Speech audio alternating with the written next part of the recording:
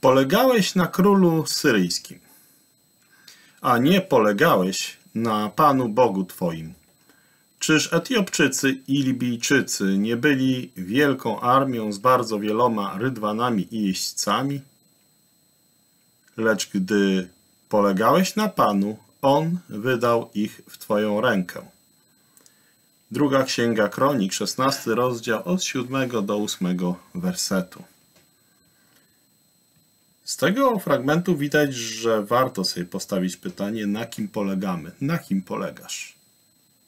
W historii Asy, zapisanej w drugiej księdze kronik, hebrajskie słowo przetłumaczone jako polegać lub jego formy powtarzają się cztery razy. W wersecie 11 rozdziału 14, w wersecie 7 rozdziału 16 i, i to dwa razy w tym wersecie 7 rozdziału 16 i w rozdziale 16 werset 8. To daje nam klucz do pewnej lekcji, jaką powinniśmy odebrać z życia tego bogobojnego jednak króla. Na kim możemy polegać w próbach życia? W pierwszej próbie Asy Zerach Etiopczyk wystąpił przeciwko niemu z zastępami liczącymi milion ludzi. Nie wszystkie wyzwania, którym musimy stawić czoła, wynikają z naszych porażek.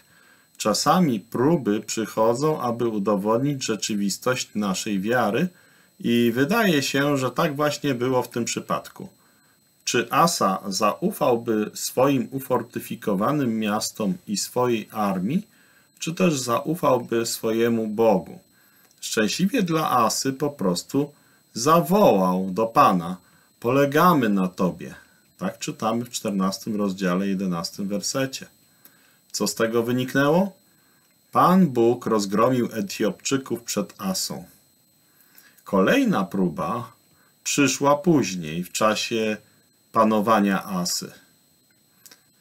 Król Izraela, Baasza, wystąpił przeciwko Judzie i zbudował warowne miasto w pobliżu ich granicy. Tym razem Asa nie polegał na Panu, lecz na swoim bogactwie.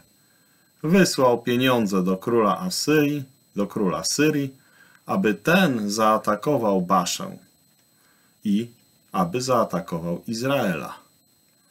Plan wydawał się sensowny, jednak pomijał Pana.